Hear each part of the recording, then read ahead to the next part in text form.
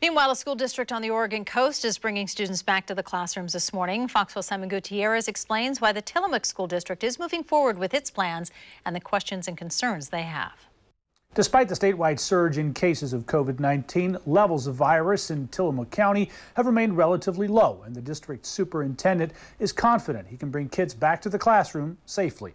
With consistently low numbers of COVID 19 cases in the community, Tillamook schools had the option of starting the year with in person instruction, but the district opted to wait and proceed with caution. I asked Superintendent Kurt Shelley, why now? The last time we talked, you were on track, I think, to start the school year in person, but you had personally reservations about doing that and you didn't do that. What would you say has changed since then? I think we've had the opportunity to study the virus and to listen to other colleagues around our state and nation and look at studies uh, nationwide and worldwide uh, to see how people are doing this. And, you know, I always use the example when I play the stock market, I'm a little bit conservative.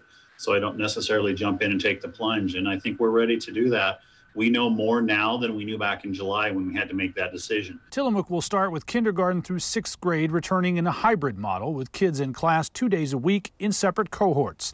The district has tentative plans to bring all students, K through 12, back for in person instruction in mid January, but that's dependent on cases of COVID 19 in the community remaining low.